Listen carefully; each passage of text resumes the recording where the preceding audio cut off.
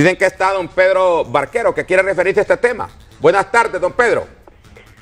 Buenas tardes, don Eduardo. Un gusto saludarlo y un saludo al pueblo hondureño. Sí, en efecto, la propuesta que hizo el presidente de la Cámara de Comercio e Industria de Cortés en la mañana, que lamentablemente por la diferencia de horario, él donde está ahorita es medianoche y seguramente ya está dormido y por eso no pudo atender su llamada, pero yo casualmente estaba viéndolo en la televisión y vi cuando intentó hacer la llamada y por eso me animé a llamar a Mariela para que me ayudara a pasarme al aire y le agradezco por la oportunidad. El problema que tiene el gobierno de la República, eh, no solo con el tema del ENES, sino que con muchas instituciones, es, falta de capacidad y falta de transparencia. Entonces, la propuesta del presidente de la Cámara del Comercio y de la Cámara de Comercio como institución gira precisamente alrededor de conformar un equipo de trabajo de personas con capacidad y honestas para resolver el tema del ENE y el tema del sistema eléctrico nacional. ¿Qué es lo que haría este equipo? Pues sencillo, aplicar la ley que entró en vigencia desde mayo de 2014, pero que no se ha llevado a la operatividad, no se ha llevado a la práctica.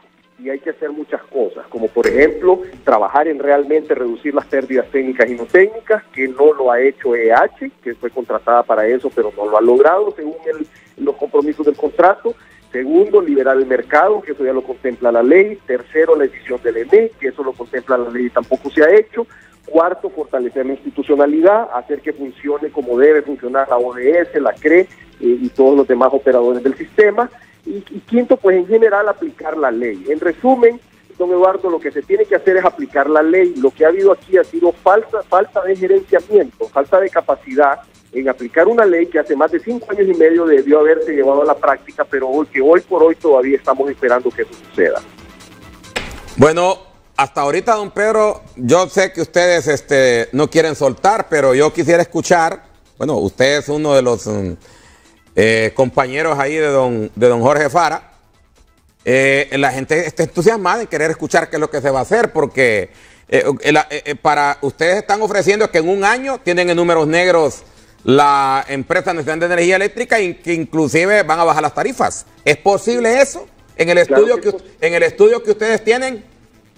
Sí es posible. De hecho, eh, en el pasado así era. La idea hace muchos años, en varios momentos, estuvo siendo manejada de manera correcta y operaba en números negros, generaba utilidades, tenía excedentes inclusive, y las pérdidas técnicas y no técnicas estaban casi a la mitad de lo que están hoy. Entonces, de que se puede, se puede. Lo que se necesita es tener la voluntad, la capacidad y manejar la cuestión con transparencia y honradez.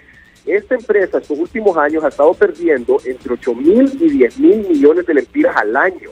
Es una barbaridad de dinero. Hoy por hoy la pérdida acumulada es de casi 70 mil millones de lempiras. Entonces, no es posible que una empresa, siendo un monopolio, porque le es un monopolio, usted no puede comprarle la, energía a nadie más que le lee. Usted no puede eh, en su casa o en su negocio ir a comprarle energía a alguien más, se la tiene que comprar el ENE, todos estamos obligados a comprar el ENE. ¿Cómo es posible que un monopolio esté perdiendo? Entonces, eso es simple y sencillamente mala administración. Y eso se corrige con buenas prácticas administrativas, con capacidad y sobre todo con transparencia y honradez a la hora de manejar esta la estatal.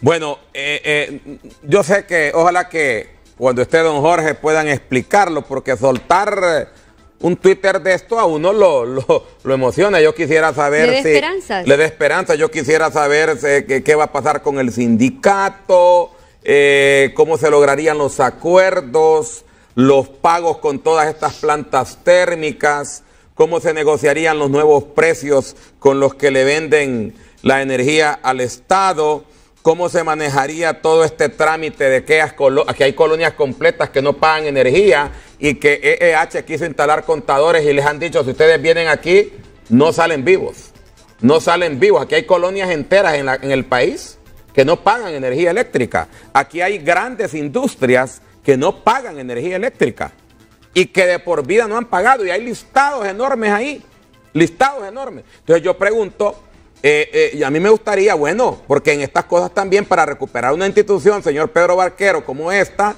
también hay que tomar decisiones contundentes. Por ejemplo, eh, las negociaciones con los trabajadores, hay muchas, este, hay muchas acciones que a mí, que a mí me, me gustaría realmente conocer a profundidad. ¿Cómo le entrarían ustedes? ¿Bajo qué condiciones aceptarían? que el Estado les dé la NE para, para levantarla, pues. A mí me urge como hondureño. Ok, aquí le, aquí le, aquí le explico. ¿Cómo entrarle? Primero se necesita que dejen que hagamos todo lo necesario para poder cumplir con la ley. Voy a tratar de recapitular cada uno de los puntos que usted consultó. Con el sindicato, con el sindicato hay que trabajar de la mano.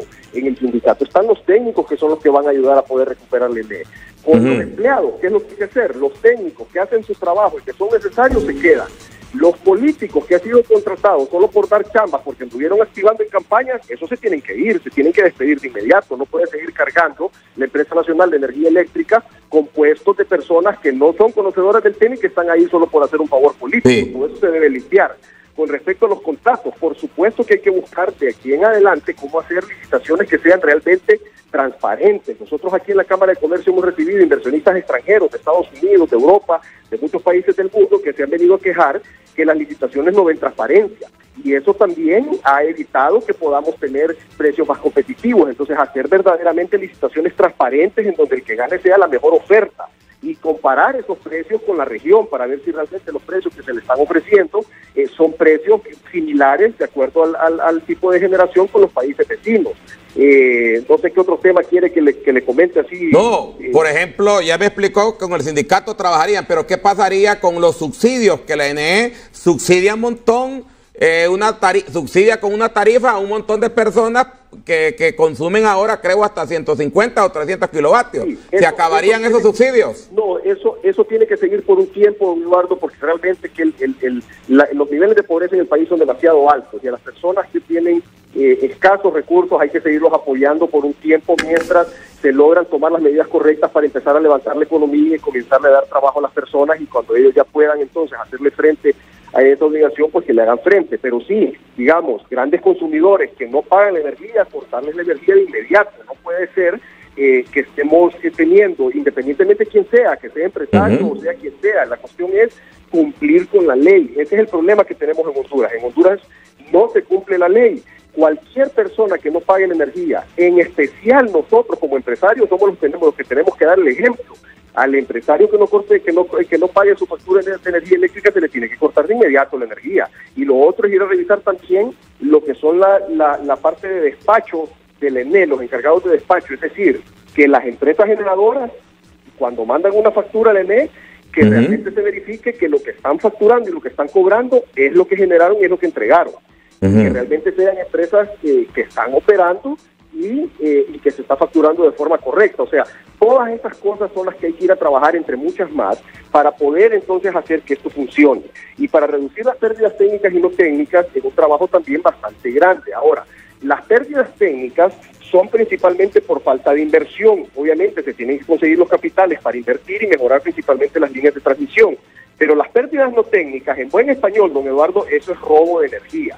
Y eso lo que hay que hacer es simple y sencillamente a donde se está robando la energía, cortarla para asegurarse de no seguir teniendo esas pérdidas. Bueno, ahora, eh, la NE, me imagino que ustedes en el estudio como Cámara de Comercio llamó, bueno, yo reitero, eh, ¿ustedes ya hicieron llegar esta propuesta o solo es un Twitter o ya ustedes hicieron llegar esta propuesta al gobierno?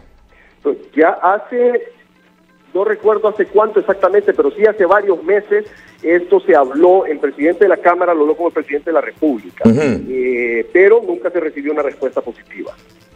Bueno, yo le pregunto por qué los bonos soberanos para cumplir con las deudas de la NE ya van a sumar los 2.500 millones de dólares. Y eso en poco tiempo llegará a los 9 mil millones de dólares, se ha asegurado por parte de los técnicos. ¿Podrá recuperarse porque ustedes ofrecen un año? a ver, es que son, son, son dos cosas diferentes. Dentro del plan del rescate del ENE, la deuda acumulada, esa deuda acumulada, la única manera de salir de ella es colocándola a largo plazo y pasándosela al gobierno central. O sea, la ENE definitivamente va a ser casi imposible que pague eso. Esa deuda se le, tiene que pasar al gobierno central, que es lo que ya están haciendo. Eso es parte del mismo plan de rescate que tiene el gobierno de la República. Lo que pasa es que no lo han podido terminar de ejecutar. Entonces, esa deuda sale del ENE, lo paga el gobierno central, o sea, al final de cuentas lo pagamos todos nosotros los hondureños a través de nuestros impuestos, eh, y por el otro lado entonces lo más importante es llevar al ENE a que tenga una operación en negro, o sea, que no siga perdiendo.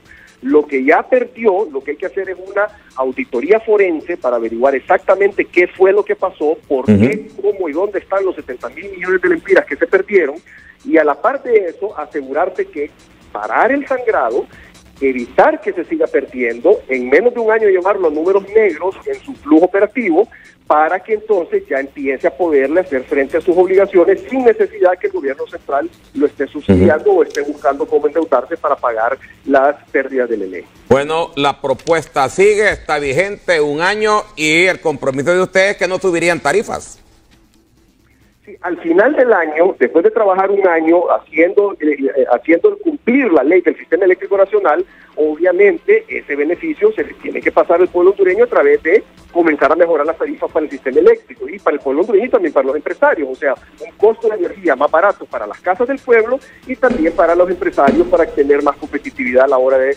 hacer los productos y servicios. O sea, lo primero que haría la Cámara de Comercio e Industrias de Cortés es arreglar y poner en orden a todo ese montón de empresarios San Pedro Sula que tienen contadores pirujos en sus empresas a nivel nacional, o sea, en donde se encuentre alguna persona o alguna empresa o alguna institución o alguna organización que no está pagando la energía, se le va a cortar de inmediato y no se le va a reconectar hasta que lo pague y se ponga al día, porque así lo estipula la ley. El problema que hemos tenido es que no se cumple la ley. Precisamente la propuesta del presidente de la Cámara gira alrededor de eso, simplemente llegar a cumplir la ley, porque estamos seguros y convencidos que si se llega con voluntad con capacidad y con honradez a cumplir la ley, el sistema se resuelve. Ahora, ¿qué le están eh, supóngase que el Estado decide eh, eh, decide conceder la propuesta a la Cámara de Comercio e Industrias de Cortés, ¿qué van a pedir ustedes? Simplemente que nos dejen cumplir la ley y que no nos estén llamando cuando se vayan a tocar los intereses de ninguna persona, ni de ninguna empresa, ni de ningún político, ni de nadie. Porque para poder arreglar la se van a tocar muchos intereses, don Y esos son los intereses que después no pueden estar ahí pretendiendo que se retrocedan con las medidas que se tienen que retroceder. Y son intereses, y ahí le estoy diciendo claro, hay intereses empresariales, hay intereses políticos, hay intereses de todo tipo. Y esos intereses son los que tenemos que pasar por encima pues de ellos y poner el bien del pueblo hondureño encima de esos intereses. Pues al carajo, don Pedro Barquero, con esos intereses. Al carajo con esos grupos este, que tienen quebrada la NE a iniciar un nuevo proceso. Y yo insisto, si la Cámara de Comercio e Industria de Cortés está haciendo este planteamiento, pues al primer hondureño que tiene aquí es su servidor. Es su servidor. Me pronuncio, me pronuncio, si ustedes tienen la salida, ¿qué es lo que nos toca? Apoyarla. Si hay una salida a la NE, porque por, la, por culpa de la NE se dice que no hay medicamentos que por, porque hay que estar comprando hasta bonos soberanos para pagar las deudas. Entonces, este, correcto. esperamos algún... agradezco el espacio, Eduardo, muchas gracias y, estamos a sus órdenes siempre. Eh, seguramente el presidente de la Cámara le va a corresponder la llamada en cuanto regrese el país eh, o probablemente mañana en, algún horario que sea de día en ambas partes. Bueno, y la propuesta es interesante. Lo dijo claramente, se van a tocar muchos intereses de todo tipo. ¿y? que no quiere que los vayan a llamar cuando se toquen esos intereses. Lo ha dicho claro. por el bien de todo. Óigame, la gente, uno de los problemas que han tenido los últimos gobiernos es las alzas de las tarifas. Nadie quiere pagar ya. La gente está, la gente hay gente que solo trabaja para, la, para pagar la energía eléctrica. Afecta la economía de los hogares del país. Sí, hombre, bueno.